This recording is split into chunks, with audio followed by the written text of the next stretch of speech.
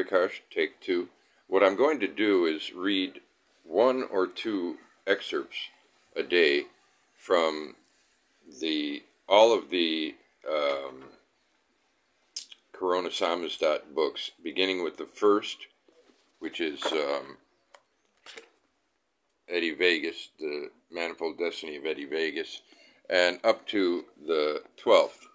And I'll read one or two a day, depending on, on how it goes. And just read an excerpt. Uh, this one here is uh, um, from the days of the, the, the mining boom in the, in the West. Our, our man has gone from Idaho to um, see what he can find um, and set up for the family and send for his wife. So most of this is actually a letter from him, and he's not a very literate man, but she taught him enough that he can write a letter of some sort. But it starts with him getting uh, held up on the trail. Reach for the sky, pilgrim. Truer words were never spoken, we know, for the letter to this day remains a family treasure, kept safe in some locker in some Las Vegas Detective Bureau storeroom, and dated April 23, 1850, sent from Tom Gravel in California to his wife in Oregon, the first letter he sent after he was held up on the Siskiyou Trail. Letter begins, or I commence reading letter. I said, Sir, I ain't no pilgrim, and I don't know why you suppose that, but looks to me like your intention is to rob a pilgrim, or just anybody you can find, so you better make your intention more clear after you've gone round giving orders to stranger. Afore you given gone round giving orders to strangers. And he said, I says, reach for the sky and shut your jabber hole. I said, I never done surrender, yet, to no man on this earth, and I make out I can shoot a gun quick and straight like, and if he want, he can take the chance of killing me on his first shot. And soon as he got that look of constipation, I drew and shot the forearm of his gun carrying limb.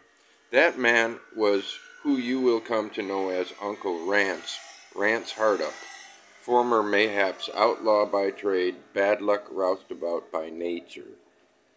Anyways, you can see all that gun exercise paid off quicker than I hoped it need to. Leastwise, I shot a man with a gun at me, and not Hector or you or Rower or Feeble Jeff or even me. Ain't sure what I meant by that, except I weren't the feller got shot. Funny think is this was after the first easy day on on the tail after all the troubles at first to find the north and south trail, getting lost twixt thar and the trailhead and then. I mean, whence upon finding the trailhead, sort of just south of Fort Vancouver, the trail from there is might hard on man, beast, and wheel.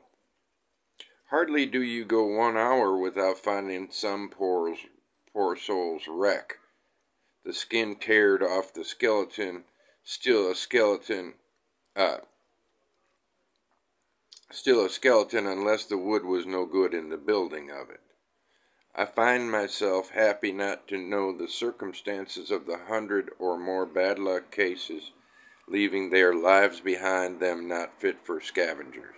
Which brings to my mind beasts like bears. They say the bear is all around here and the big cats too, but the safest place is the trail. I think, because I hardly but saw a few deer and occasional critters off the trail up some crick I went to for peace now and again betimes. Long, lonesome night afore Rance and me met up, I got to thinking maybe too much. But what I see is them animals is smarter than us, in the forest way, in the nature way, and see this is what that makes me think that if we are critters of nature too, maybe we are long gone about it the wrong way round for the critters, and I mean the grizzlies and the li- lions.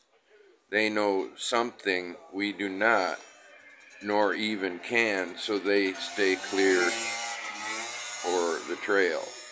If Big Ass lived here and Hector was on this trail, he would never have been clawed up like that because they knows the trail is, well, something like poison to them.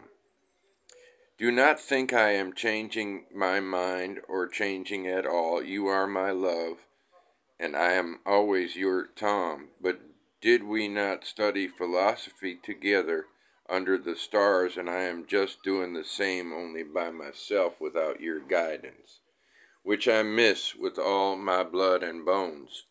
For I am ever your Tom, and love you more than my own blood and bone, and I will mail this letter from the town of Portugal, where they told me at Diggins there was uh, steady mail runs. Sorry, no date. I don't know the date.